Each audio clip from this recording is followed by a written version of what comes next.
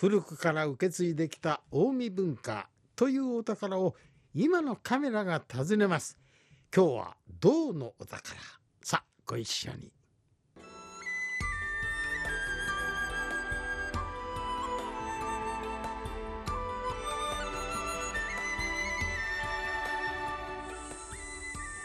8月1日八作の日。カメラは近江八幡市の琵琶湖岸に鎮座する天台宗伊崎寺の千日絵を訪ねた。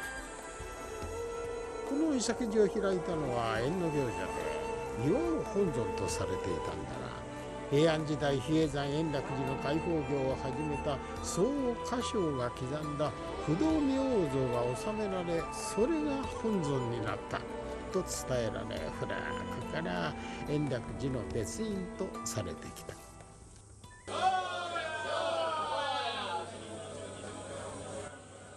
伊崎寺の千日絵はまず比叡山延暦寺の百日開校行者13人による大般若経天読法要が営まれた。そして昼過ぎから行者たちによる伊崎寺の竿取りが行われる。目の前に広がる琵琶湖その向こうに沖島の島影そしてさらにその向こうには平野山並みが見える断崖から湖上に向かって長さおよそ13メートルの角材がガーッと突き出ている。この棒の先端から湖面まではそうざっと10メートル近くもあるだろうか。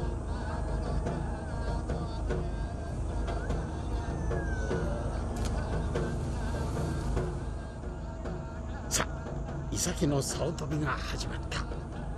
この行事はおよそ1100年前伊崎寺で修行していた建立大師宋歌唱が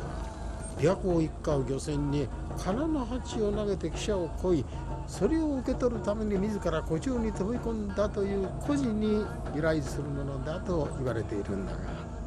伊崎寺が天台修験の道場であることから考えてみるとこの竿飛びというのは修験の行の一つだとも言われている。江戸時代の伊崎寺演技によればその行は写真を表し菩薩の行を求め千女無垢の上心となり生死の苦海を渡り涅槃の彼岸に至るのそうなりであると説いている。行者として身を捨て生死を超えた境地に至るための行が竿飛びなのだということなんだろう。この岬の竿飛びはもう1000年近くも続いてきたと言われてかつては行事を受け継ぐということからい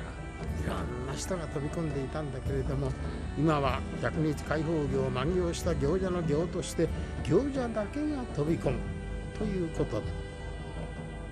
それはつまり伊崎人の竿飛びというのは天台系資源の行法を伝える行事でありまた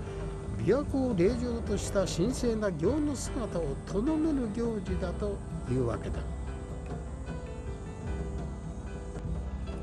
伊崎寺の竿飛びは祈りの行であるそう琵琶湖と祈りが結びついた独自の景観を持った行事なのだ平成27年文化庁は岬の竿飛びを日本遺産に認定した。